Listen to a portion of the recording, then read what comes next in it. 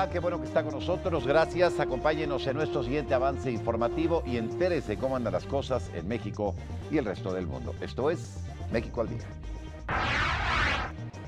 El presidente Enrique Peña Nieto encabezó este lunes la inauguración de la escuela primaria Isidro Favela Alfaro y el inicio del ciclo escolar 2014-2015 en Toluca, Estado de México.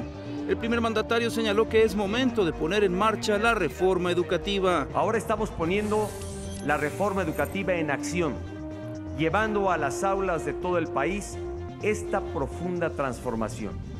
En este objetivo contamos con los mejores aliados, las maestras y maestros de México, a quienes respaldamos en su elevada responsabilidad en las aulas.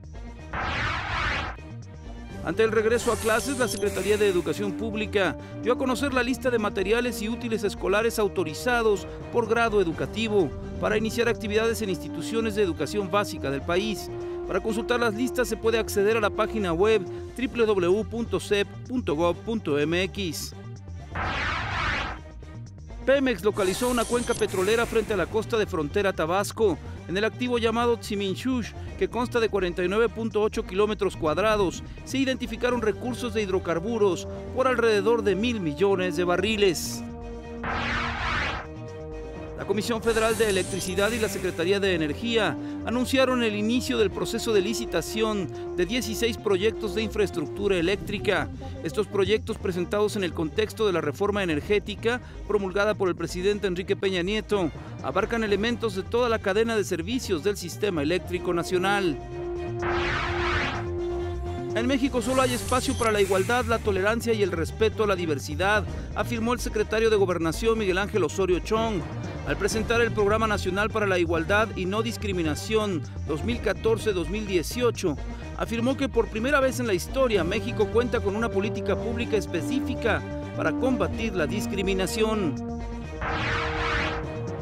México ha fortalecido las acciones para combatir la venta de medicamentos ilegales y caducos. Del 2010 a la fecha se han recolectado más de 554 toneladas de medicamentos caducos, informó el titular de Cofepris, Miquel Arriola.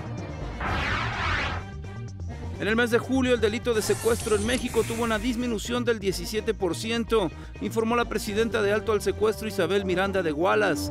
Al presentar su reporte de secuestro del mes de julio, denunció que a pesar de los esfuerzos de la Federación por erradicar el delito de secuestro, los estados no han invertido en sus unidades especializadas en el combate al secuestro.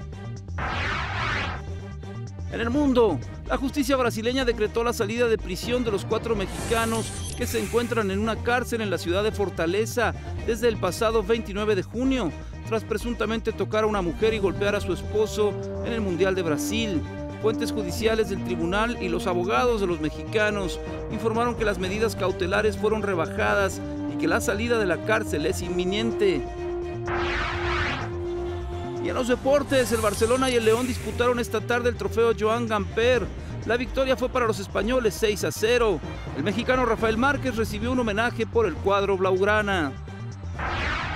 Gracias por habernos acompañado. Siga pendiente de las noticias y acompañe en una hora Maite Noriega y entérese cómo andan las cosas en México y el resto del mundo. Esto fue México al Día. Lo esperamos.